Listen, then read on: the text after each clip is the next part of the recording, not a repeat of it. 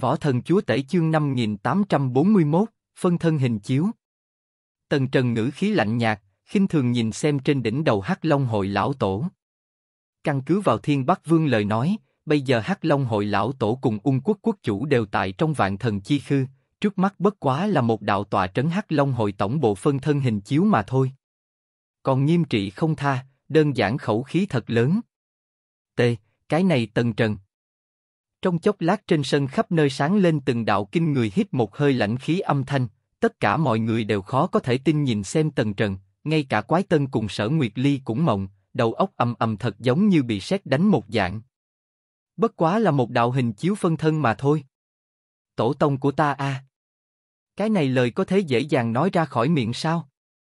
Một bên tác la gia cũng run rẩy lên, toàn thân lân phiến đều nhanh dựng lên vội vàng truyền âm nói, đại nhân, ngươi thế nào biết cái này hắc long hội lão tổ chỉ là một bộ hình chiếu phân thân? Liền xem như một bộ hình chiếu phân thân, cái kia cũng tuyệt đối không thể sơ suất đây chính là thần đế cường giả a. Tác La gia cấp bách lạnh cả người mồ hôi đều xuất hiện. Thần đế. Đây chính là toàn bộ vũ trụ hải chân chính chí cao vô thượng tồn tại, nhân vật như vậy đủ phiên vân phúc vũ, một tay che trời, cho dù là một tôn yếu hơn nữa thần đế, tại trong vũ trụ hải cũng là vạn chúng chú mục, có thể mở sáng tạo một cái thế thần quốc. Không nói những cái khác, tại cái này Nam Vũ trụ hải, cái này Hắc Long hội lão tổ, ung quốc quốc chủ, chính là tất cả người tu hành thiên, vô số người tu hành đều phải dựa dẫm khí tức của bọn hắn để sinh tồn. Tần Trần lúc trước lời nói quả thật đại bất kính. Đen như mực thân ảnh ánh mắt băng lãnh, chỗ sâu trong con ngươi có vô tận u hỏa thiêu đốt, tản mát ra làm người sợ hãi phẫn nộ. Tại trong đại đế cấp bậc qua nhiều năm như vậy còn không người dám cùng hắn nói chuyện như vậy, nhưng bây giờ hắn chỉ là băng lãnh nhìn xem tác la gia cùng tần trần.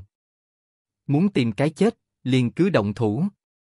Hắc Long hội lão tổ lơ lửng phía chân trời lạnh nhạt nhìn xem một màn này. Mênh mông bên trong Nam Nguyên Thành, sát ý vô tận hắc hà chậm rãi phun trào. Bây giờ toàn bộ thành trì hoàn toàn yên tĩnh.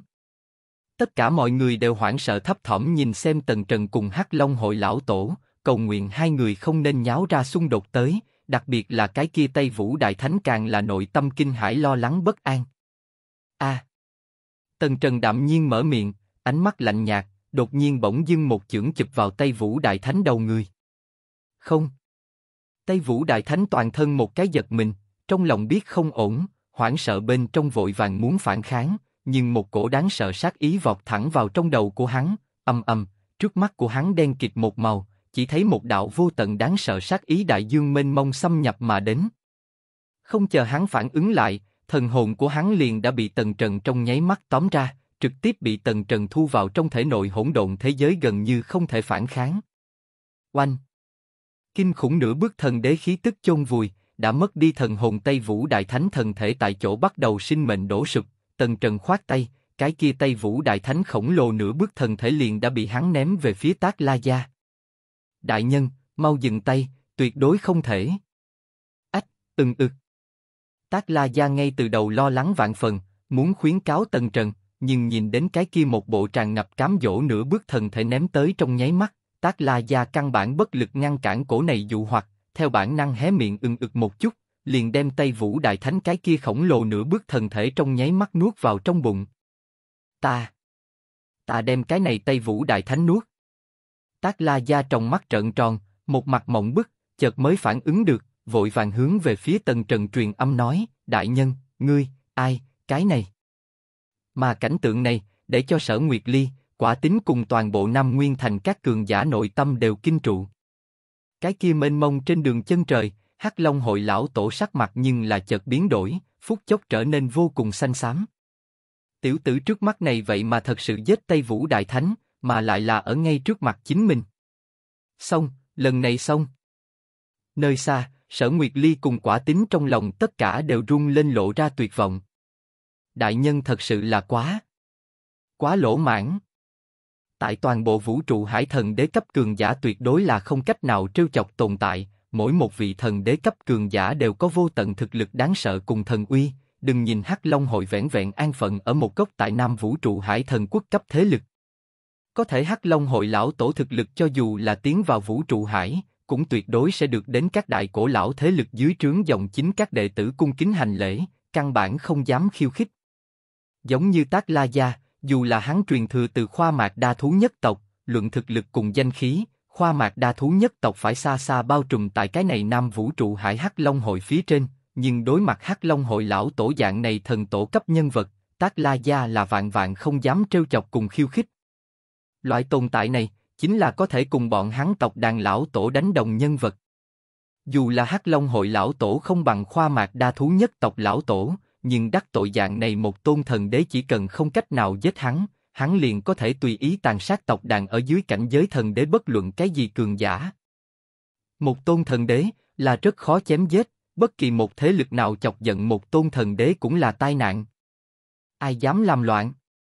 Huống chi thần đế cấp cường giả tại trong vũ trụ hải, bình thường cũng có một cái ăn ý, đó chính là sẽ không tùy tiện tham dự vào phía dưới trong thế lực giao phong, cũng không cách nào công nhiên chiếm đoạt xung quanh hạ cấp thế lực. Dù sao không có nhất định ước thúc, tùy ý thần đế cấp cường giả chiếm đoạt tiếp, toàn bộ trong vũ trụ hải vô số thế lực bình thường sợ là căn bản không có cơ hội sinh tồn, đều sẽ bị từng cái khổng lồ thần quốc hợp nhất, đến cuối cùng chính là thần quốc ở giữa đại chiến. Cho nên, căn cứ vào trong vũ trụ hải vô hình ăn ý, nếu là không có đầy đủ lý do, thần đế là không thể tùy ý động thủ đồ sát đại đế cảnh cường giả. Cho nên tại trong vũ trụ hải bình thường thế lực giao phong, đỉnh phong đại đế đã là vũ trụ hải trong đại chiến có khả năng tùy ý xuất thủ cường đại nhất chiến lực. Lúc này mới xuất hiện ra từng cái giống như diệt không đại đế vũ trụ hải nhân vật truyền kỳ. Lấy đỉnh phong đại đế tu vi, khuấy động toàn bộ vũ trụ hải phong vân. Nhưng bây giờ, Tần Trần vậy mà ngay trước mặt một cái thần đế giết chết cái này một tôn thần đế thủ hạ. Cái này đã cho đối phương lý do động thủ. Xong, lần này phiền toái. Sở Nguyệt Ly cùng quả tính nội tâm nhìn không được kinh hãi, Hắc Long hội lão tổ tức giận phía dưới, trừ phi bọn hắn vạn cổ các lão tổ hoặc thiên ngoại thiên lão tổ tự mình buông xuống, bằng không không người có thể gánh chịu một tôn thần đế cấp cường giả lửa giận.